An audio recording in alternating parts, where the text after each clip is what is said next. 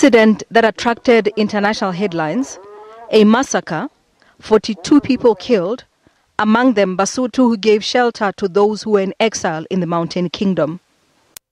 Arebatu, an account of the 1982 Maseru massacre by Phyllis Naidoo, is one of very few archives of the most traumatic experiences for the small mountain kingdom of Lesotho.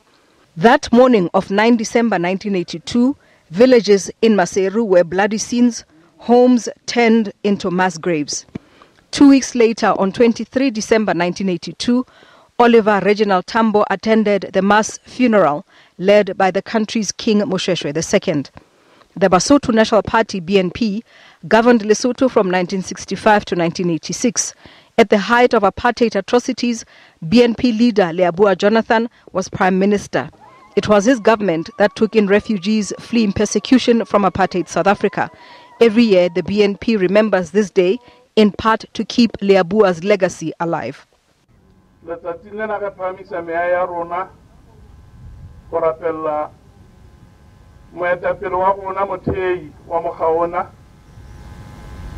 tonakgolo ya mmuso wa lesotho mofu mogana leabua jonathan Message at the funeral, Oliver Tambo said, These events have united us because, Your Majesty, your people responded to this massacre with a courage that is part of their tradition and part of their history. Lesotho became home to stalwarts, including the late Chris Hani.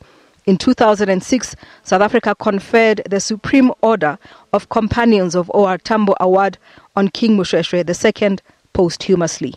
Ntakwana Ngatani, SABC News, Johannesburg.